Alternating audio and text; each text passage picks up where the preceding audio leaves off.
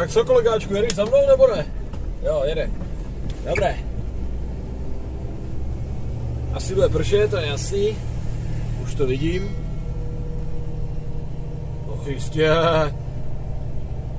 Nečekal jsem tě člověče zprava. No, Leon se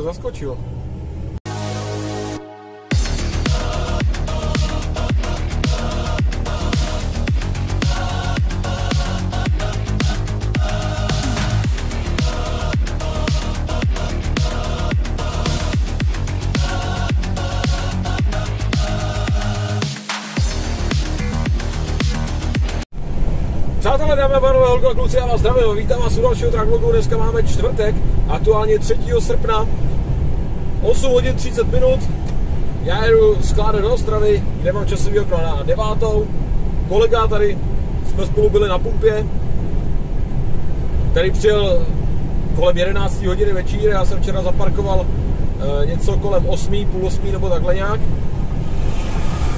Akorát, že jsem musel zaparkovat na druhé straně, což jste viděli v tom minulém trackvlogu a viděli jste to i na streamu, kdy jsme parkovali live, takže se tady v Klimkovicích musím jenom otočit a zase budu práskat už na tu správnou stranu.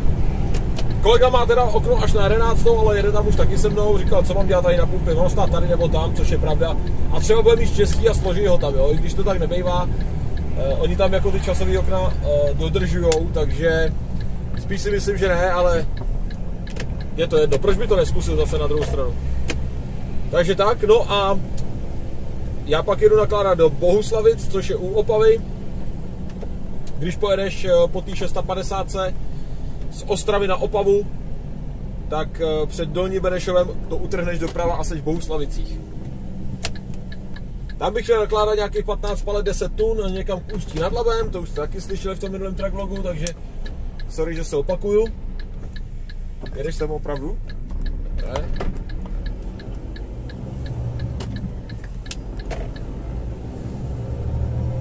Jinak je docela teplo, máme 19 stupňů, což je super. Včera ještě, já nevím, po té desáté hodině bylo tady 20 stupňů, takže to bylo úplně super pecka. Nepršelo, bez větří, ideální stav jako na spánek. Dobrý to bylo. Tyjo, sakra, co se to tady děje, že by udělal koloborec. Zahulilo se, vletěl do odslavného. Jo, jo, jo, udělal gumu. Hm. Toto je vůně, kterou jako nechceš cítit. No jo. Pěkně zul běhou, ty vole. Paní už to tam lustruje, už to tam cvaká do toho komputru. Tak šup, šup, kolik máme? Za 9,9. A vypadá to, že se kolegu ani nepustí do areálu, tyjo. Jsem říkala, že od nás jsou tady nahlášení dva, říkám, no já vím, já jsem na devátou, kolega vzadu je na jedenáctou, no tak ten bude muset si počkat. Ale mohla by ho pustit dovnitř aspoň.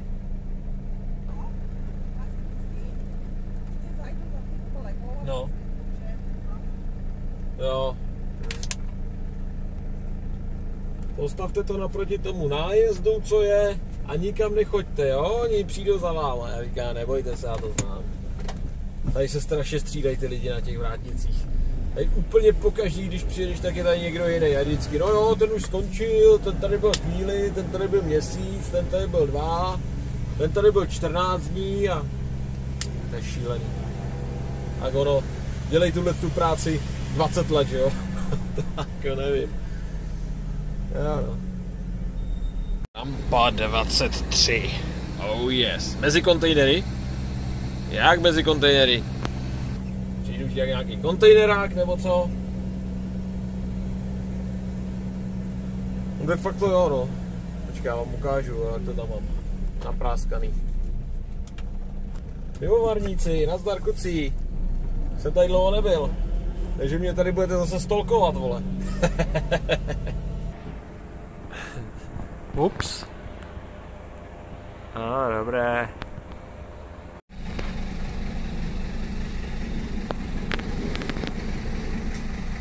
Je tam. Tak, příšnice tam musím narvat. Opraveno. Tak. Paleťák, ten si dám jinam. A zase se opakuje scénář, jako když jsem tady byl posledně. Zase mi vrátili jenom cabrák a nevrátili mi potvrzení dodáky. A kolega tady je. Už ho taky pustili na rampu, no 11.8 tak. No a já to mám půl hodinky do těch Bohuslavic zhruba, nějakých 20, 25 kiláků, něco takového. Se se pak podívat na navigaci, kde to tam je, protože ta firma mi takhle nic neříká. Ahoj. Ale ne, to už jsem zase dlouho nepotkal. Už jsem potkal po dlouhé době zase linkový autobus, který jede 45. Ale ne. Co tady máte? Truck rally? Kamiony. ta firma má být tady vlevo, jo? Počkej, ty co to je, co to je, co to je, co to je?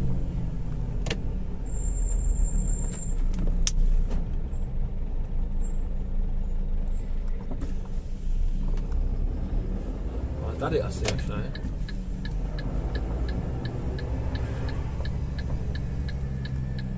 Jo. Super. No já samozřejmě jedu na oběd, jo. Půl dvanáctý a nějaký drobný. Čekuju, že budu akorát mimo. Ne jako mimo, jako mimo, ale mimo jako... Oh. Tady nevidím žádný kancel, tady jeden sklad, na, na, na kopci druhý sklad, tady vpravo další sklad. Tady trošičku porozhlídnout. Chovatelské potřeby.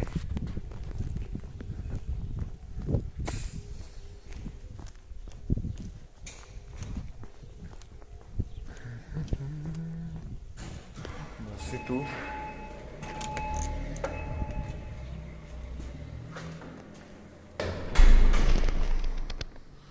Čubě, že bych něco vzal.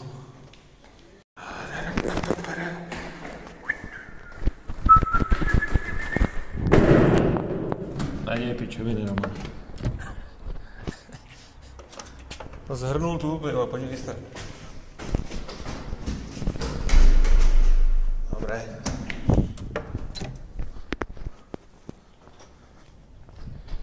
Vlastně to ještě neměli celý připravený, tak jsem tady asi půl hodinky je tady nechali jenom... No, podívej se. No vidíš, aspoň bude mít čuba co žrát. Chudák, taková podvyživená se mi zdá trošku. No, tak tady něco pojí, no. Light Vital, to je přesně ono, co potřebuju. Tohle dáme. 9 palet tady máme naložených, zbytek dole. Tady dáme 4, mělo být 15, bude nakonec 13. Nevím, jak to bude váhově. Fuj, to je blbý pocit. Takže to si tady neutrhnu to lízátko.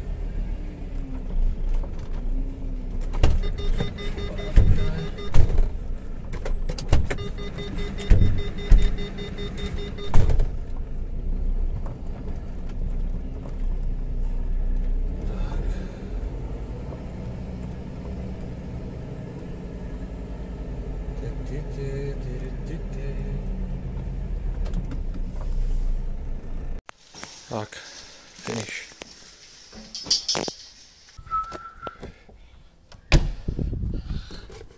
Jo a jinak, typovačka. Víte, co je tohle? A kde se to tady vzalo? Jestli to víš, tak to napiš do komentářů. Tady na té pumpě u Prostějova už jsem strašně dlouho nebyl. Změnilo se to tady, eh, změnilo se to tady stálo se eh, takhle tam po eh, levé straně, z mého pohledu. Tady to už je udělané všechno nově, to parkoviště pro sobáky tady bylo jinak, ale co se musí nechat, vaří se tady pořád stejně. Já jsem tady jednoho času uh, hodně často uh, dělal pauzu přes noc a na jídlo jsem se tady nachodil opravdu hodně, hodně. No a můžu říct, že teda kvalita zachována, dal jsem si tady gulášek po dlouhý době s knedlem a úplně super. A za docela dobrý price, myslím si nějakých 160 korun, což je super, pěkné, pět knedlíků. Takže já jsem spokojený, no. Jsem rád, že jsem se tady po delší době zastavil a že tady se dá i nadále v pohodě a ještě za rozumnou cenu najíst. No. To je super. Čekám, kdy se to tady zastaví, jsme v Brně a mezi nejobávanějšími sjezdy a nájezdy budeme za chviličku. 196, 194 se blíží, ale vypadá to docela dobře, člověče. Ještě, že jsem nezvolil tu cestu vrchem. Ježíši Maria. Takže se to sice brzdí, ale ono se to bude. Tady mezi těma dvouma sjezdama už to lepší nebude. Obzvlášť teď, když se to tady ještě do toho D1 bude rozšiřovat na 6 pruhů. O čem jsme mluvili na streamu, když jsem to jenom připomínal. Tak je tomu tak. Kdyby zhodil varovky, tak taky jako bys tomu neublížil. Největší problém. Zmáčknout jeden čudlík, ty vole. Ach jo. Za mnou všichni sjížděj, sjížděj, sjížděj. Už se tam zastavil někdo. Jo, dobrý. Tady ty kole jsou taky jako bravurní, ne? Když se to podíváš, ty to je vymačkaný jako pras. A ono, když jako do nich vletíš, ono to s tebou tu a tam jako pěkně hodí. Levá, pravá, šup, šup, šup. Volant až v klíně z toho. Neli zamotaný někde až za zádama. Brně rozšíření D1 na 6 pruhů. Já jsem jenom zvědavý, za jak dlouho to bude hotový. A jestli se vejdou do termínu, který bude avizovaný.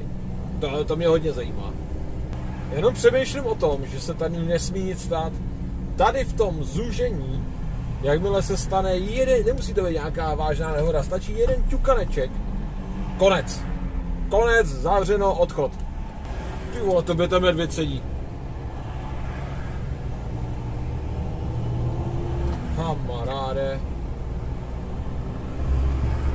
Tak, bramboračka, jasně, zase směrem na Vídeň. To je klasika. Ale šlápky na plyn, ty vole. Ne na brzdu.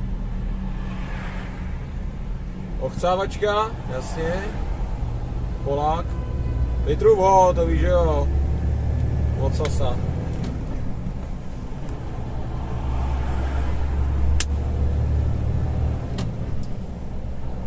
Za mě, a já za to nemůžu, Poláci, jedni z nejhorších řidičů nákladáků v Evropě. Jedni z nejhorších. To už možná ani ty litevci na tom nejsou tak špatně jako Poláci. Tyhle. Tam je prostě jednoznačný záměr v tom, jenom jak nejvíc se vším vychcat, tyhle. Kolona hredu do levýho, automaticky, jo. Ještě se na tebe opovrže, opovrhuje, ty vole, že stojíš v pravém pruhu, ty vole, čumí na tebe. Proč nejedeš, ty vole, do levýho a jeď, ne? Jo. Tady kolona, sjezd na Vídeň, Polák to omrdá, šup, jedeme. Tady přes zebru to dám a to není první, koho jsem tady viděl, jo. Je ještě s kamionem, ty vole. Si řekneš s osobákem, dobrý, není to OK, ale ten osobák tam sková. Ne, ty on tu tam zav... No nic. Já se vždycky jenom tak jako ulítnu na tom, když polemizuju nad tím, co se tady v té dopravě děje občas, no, a jak někteří rádoby profesionálové se chovají, ty vole, to je pak těžký, no. Ale víš co, to je spíš jako, tady asi o profesionalitě se nelze vůbec bavit. Tady se můžeme bavit a rozebírat to jenom, jak velká je jejich retardace, nic víc. A víš co, pak mi lidi píšou, ty seš Polákofob, já proti Polákům jako takový nic nemám. Ale když ti 10 polských řidičů kamionů, z deseti polských řidičů kamionů, 8 udělá absolutní kraviny, tak jako to procentuální číslo je jako dost velký. Neříkám, že to je tak prostě u všech, ale opravdu jako, když si to zprůměruješ, tak 8 z 10 polských řidičů kamionů dělá jednu kravinu za druhou. A mnohdy umyslně. No, ne z neznalosti, nebo že by něco někde přehlíd, ale umyslně. No a to, co jsme si tady zažili cestou na Ostravu včera e, při streamu, tak samozřejmě se děje. A včera jsem to tady říkal do streamu, jsem zvědavý, jak to tady bude, nebo nechci si vůbec představovat to, jak to tady bude vypadat čtvrtek, pátek. Tyjo. Tak dneska to vidíme v živých barvách. Tyjo. No v parádně, jak jinak by to tady mohlo vypadat. To je úplně šílený. To je šílený. Přátelé, já jsem zjistil, že to počasí dneska mě má obrovský rádo. A víš proč? Včera, když jsem byl na Moravu, tak tady v okolí Prahy bylo 20 stupňů. Přijel jsem na Moravu, tam bylo 29. Včera ještě v 11 večer tam bylo 22 stupňů. Dneska ráno nějakých 17-18 stupňů, přes celý den tam bylo 21 stupňů. Teďkon jsem přijel do Prahy, jsme na Pražském okruhu, máme čtvrt na 7 a v Praze máme 26 stupňů. Takže to počasí jde se mnou. To počasí mě má rádo. Brno a okolí, přehánky, déšť, blá, blá, blá, blá, blá, blá. Tady, podívej se, ten Azurit. Prostě my si rozumíme. Já a počasí. My si rozumíme. To je jasná věc. Je, je, netřeba to víc okecávat, OK?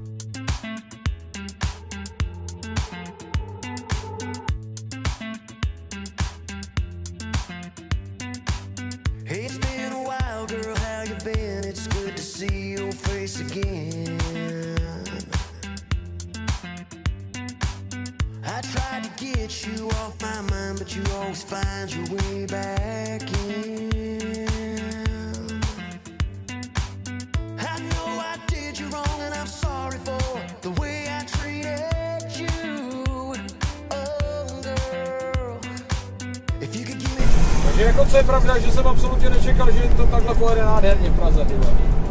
Ale jako absolutně. Je to skvělý.